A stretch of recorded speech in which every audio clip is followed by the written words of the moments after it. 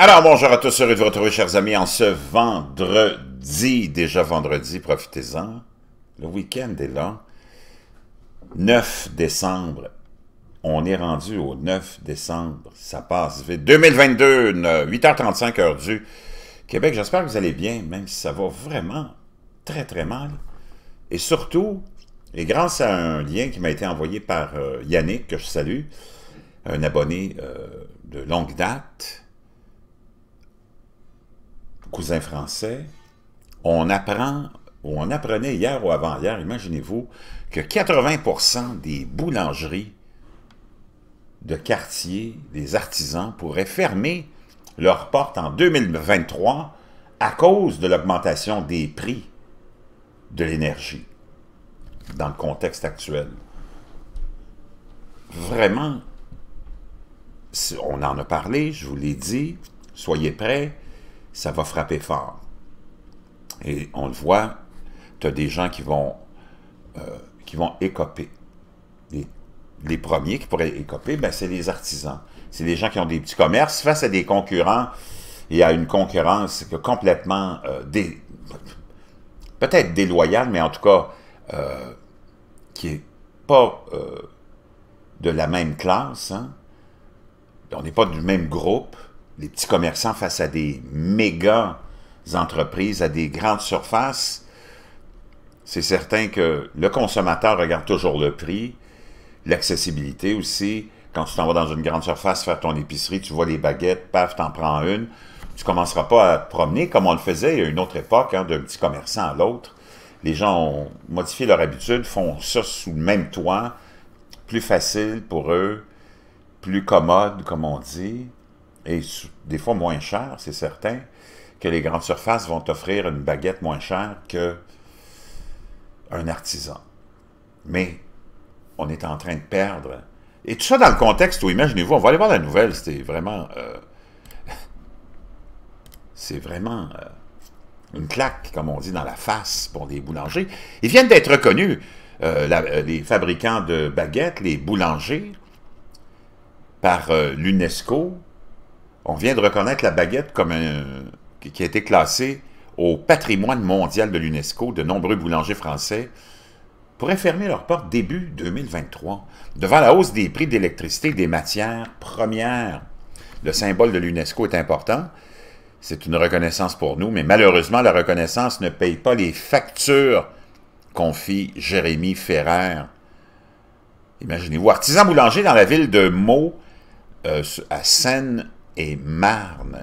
Il faut comprendre que demain, il n'y aura, peut-être plus d'artisans pour fabriquer nos, nos baguettes, dit-il. Avec l'augmentation des coûts des matières premières qui atteignent des sommets et surtout la hausse des prix de l'électricité, la situation est plus que délicate pour les 33 000 artisans boulangers français, déjà concurrencés par les boulangeries industrielles et les grandes surfaces, ces commerces de centre-ville, parfois les derniers ont vu leur défaillance plus que doubler en 2021 et 2022, naturellement, pendant la pandémie, au troisième trimestre, selon la dernière étude Altares ou Altar, je ne sais pas comment vous prononcez ça, les cousins français, mais le secteur craint que le pire soit encore à venir. En janvier 2023, Jérémy Ferrer verra sa facture d'électricité multipliée par 4 ou 5. Wow! Donc, imaginez, on arrête ici deux secondes, dans le contexte actuel où nos gouvernements gauchistoïdes, lunatiques, nous emmènent dans un monde sans trop d'organisation, de, de plans vers un monde avec des énergies qu'on appelle propres et renouvelables. Tout le monde veut ça, mais il n'y a rien qui est fiable en ce moment. L'éolien, c'est loin d'être fiable. Le solaire, encore moins. On veut éliminer, c'est bien beau, tout le monde veut éliminer le pétrole, le gaz, mais tu vas faire quoi? On retourne à la chandelle, au bois. Ça me fait penser au papier pendant les années 80. En 70-80, c'était l'hystérie autour du papier. Faut éliminer tout ce qui est papier, faut sauver les arbres. Là, finalement, le plastique est arrivé les sacs de plastique ont remplacé les sacs de papier. Là, c'est devenu une hystérie avec les sacs de papier, euh, de plastique. C'est devenu une menace pour l'ensemble de l'univers. Il fallait éliminer les sacs de plastique. Puis là, on revient aux sacs de papier. c'est comme... Il n'y a rien qui est organisé avec cette bande de gauchistoïdes. Nouvelle espèce, chers amis, qui menace la vie, la tradition du genre humain, les gauchistoïdes. Une espèce de clonage des gauchistes, des lunatiques, des extrémistes de gauche, des communistes, des socialistes, puis des fascistes. Tout ça dans un groupe qu'on peut appeler les gauchistoïdes, qui gouvernent malheureusement, puis qui appliquent la censure partout contre tous ceux qui questionnent leur gouvernance. Les Klaus Schwab de ce monde, gauchistoïdes, ils veulent que vous viviez dans le communisme et la misère, mais eux autres vivent dans l'opulence. Le secteur craint le pire. Imaginez-vous, si tu as une facture qui t'augmente, ça, à cause du coût de l'énergie, de 4 à 5 fois, ces gens-là sont incapables. Il a été obligé, cet homme-là en, question, ce boulanger-là, il avait un employé, il est obligé de s'en départir, de l'envoyer au chômage, puis il a fait euh, revenir son père, j'imagine, parce que son père, il n'a pas besoin de le payer.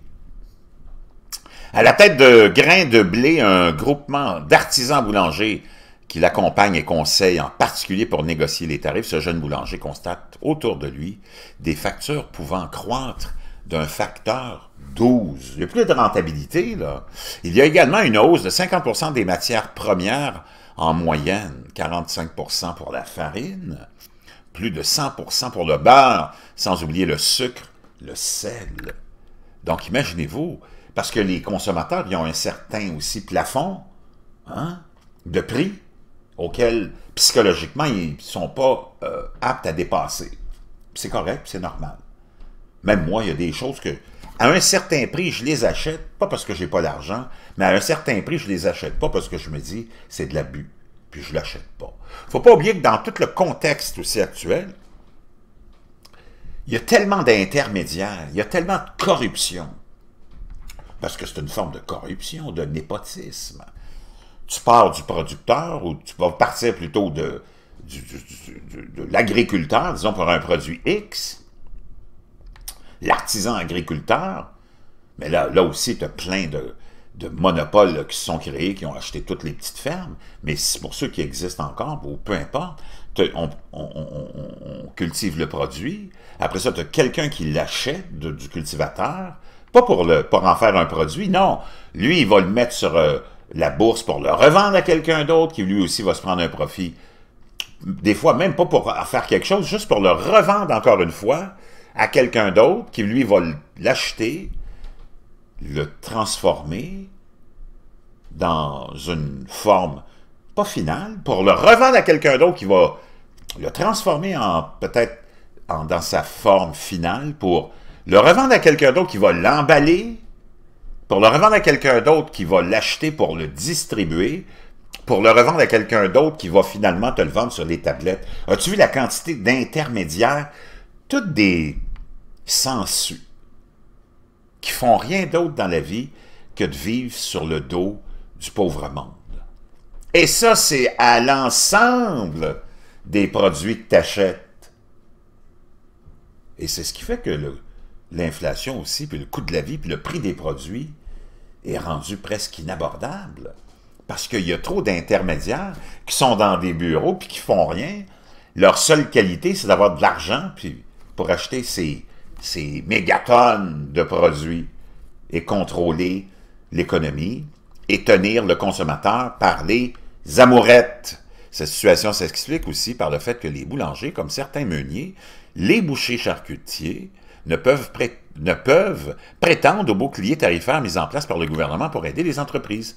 En effet, la plupart de ces entreprises énergivores disposant de puissants fours électriques dépassent les 36 euh, kWh, j'imagine, et ne peuvent donc bénéficier du plafond de 15% d'augmentation de la facture.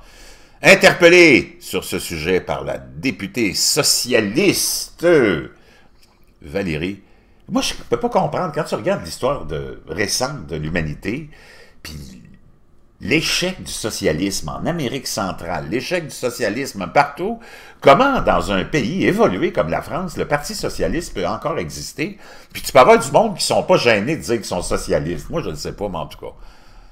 Valérie Rabault, moi, la députée socialiste Valérie Rabault, lors des questions au gouvernement mardi le 6 décembre, le ministre de l'Économie Bruno Le Maire, ou un autre clown, a insisté sur l'amortisseur qui permettra à toutes les PME de moins de 250 salariés non bénéficiaires du bouclier tarifaire de demander une réduction de 20% de la facture à partir de 2023.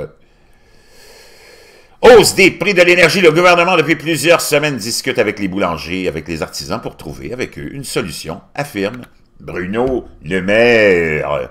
Pour des factures multipliées par 5 jusqu'à 12 fois, ce n'est clairement pas suffisant, confesse Jérémy Ferrer. Le ministre a tout de même déclaré que le gouvernement regardera ce qui doit être mis en place de complémentaires pour aider les professions dans une situation particulière. Les boulangers en font partie. Donc, imaginez-vous, ça, ça serait... Je ne sais pas comment les Français prennent ça, comment ça... Voyez-vous comment tout va être transformé? Avec l'intelligence artificielle, avec la robotisation, avec le, précipice dans lequel nous amènent nos grands penseurs, nos grands dirigeants gauchistoïdes, on on se dirige directement vers un précipice.